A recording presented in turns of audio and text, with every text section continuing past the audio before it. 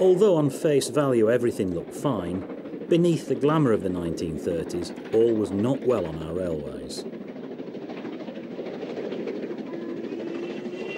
Movietone News interviewed LMS chairman Lord Stamp.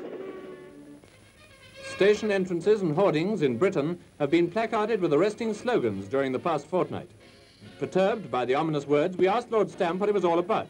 He told us that there had been a five million drop in railway receipts this year.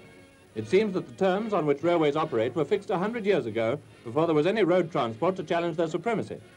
Road transport, which has become so efficient in recent years, is not bound by the limitations which Parliament put upon the railway monopoly of those early years. So despite the strenuous efforts made by the railway systems to meet competition by new rolling stock, improvement of services and acceleration of time schedules on the long runs, they still find themselves handicapped by the regulations devised all those many years ago. Having seen the arrival at Euston of the Coronation Scot, in case you wondered what train it was, we'll have a final word from Lord Stamp. Our receipts are dropping alarmingly. Matters are urgent.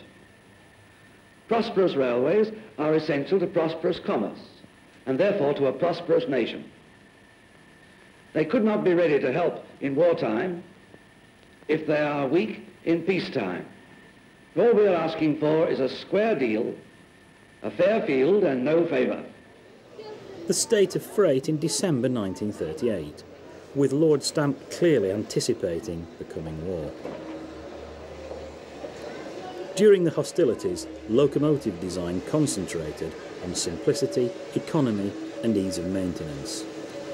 The Southern's very unusual Q1s of 1942 possessed all these qualities, plus a very wide operational range, achieved by stripping out every ounce of unnecessary weight, so the engines could run over lightly laid branch lines and bridges.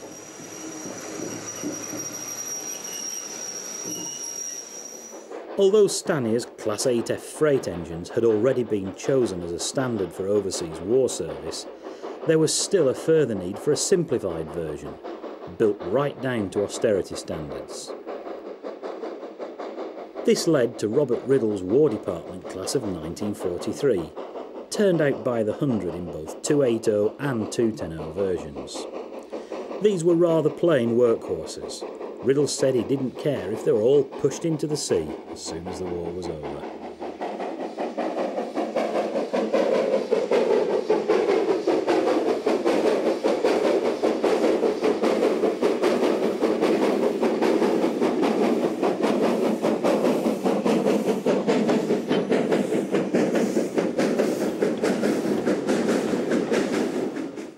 Fact, by 1945, the WDs had proved themselves ideal for their task, and far from being pushed into the sea, hundreds were repatriated to join those still working in Britain.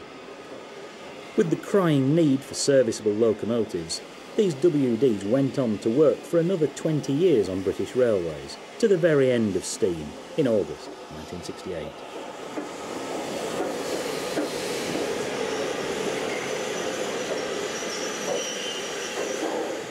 One enigmatic exception to the wartime building programme was the Southern's Merchant Navy class, designed by Oliver Bulleid.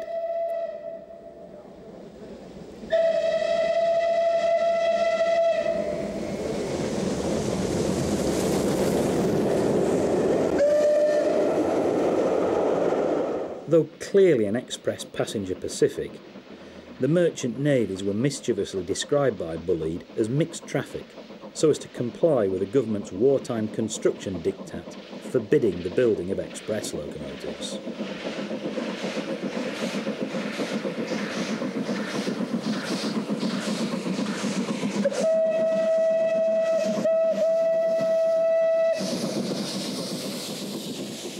By 1946, and despite post-war constraints, some things were starting to return to normal. The Flying Scotsman, Britain's best-known express, gives passengers a sight they haven't seen since 1941. Restaurant cars and railway kitchens are back again. Wars may come and wars may go, but the sausage goes on forever. For men who've been off the job for four years, the chefs look pretty slick. But Chef Hock and Cook Humek are old hands at the game.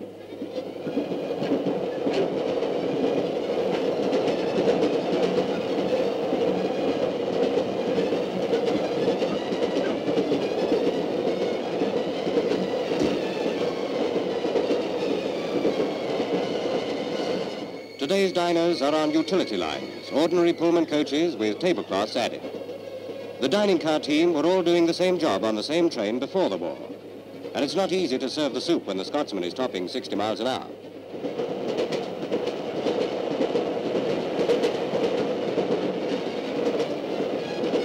Our cameraman covering the comeback of the dining car reports the food good for the times. Long-distance travelers tell veteran conductor Richards they certainly appreciate it.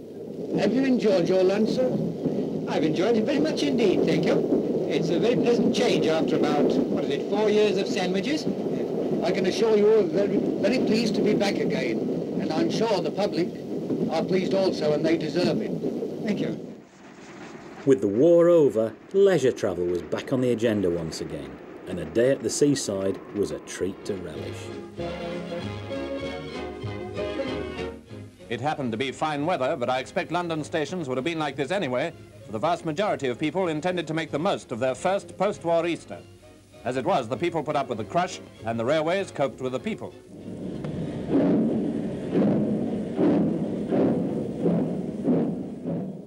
That streamlined Coronation Pacific looked pretty war-weary.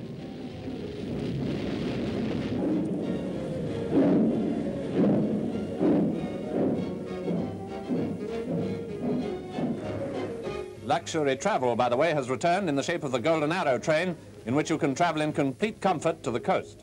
After crossing the Channel, you board the train again in France. If only this kind of travel were typical of journeys everywhere in Britain. But, well, maybe that's too much to hope for yet.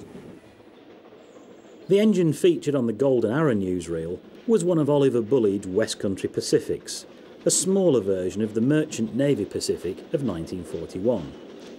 It also carried a so-called air-smoothed casing, which had nothing to do with streamlining and everything to do with mechanical washing plants.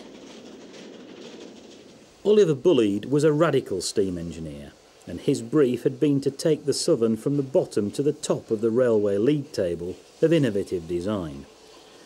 But as might be expected when so many new ideas are introduced all at once, along with the triumphs came disappointments.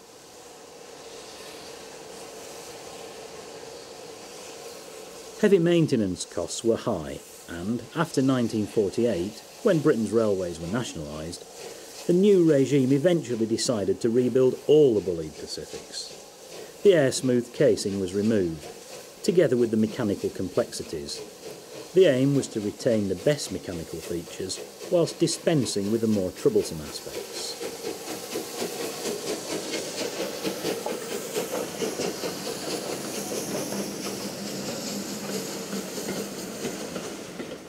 The result was highly satisfactory. All the merchant navies were converted, and it was only the approaching end of steam in the 1960s that halted the programme halfway through the hundred odd smaller engines of the West Country and Battle of Britain classes.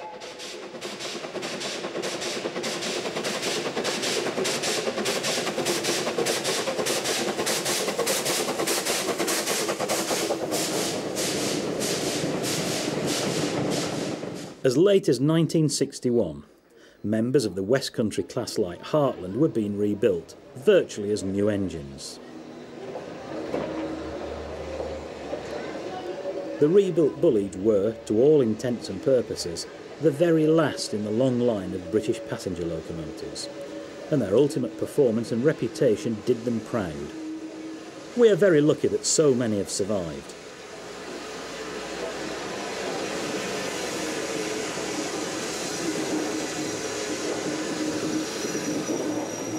The West Country class were given the names of towns and landmarks in the holiday counties served by the old Southern Railway. The directors had, quite rightly, judged this to be good public relations, especially with holiday making travellers in mind.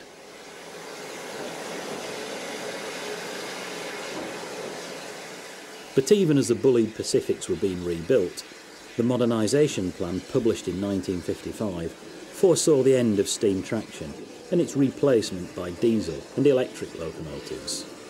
Within 13 years, steam would be eliminated from British Railways main lines, despite the fact that the Bulleids were being rebuilt with projected working lives of another 20 years or so.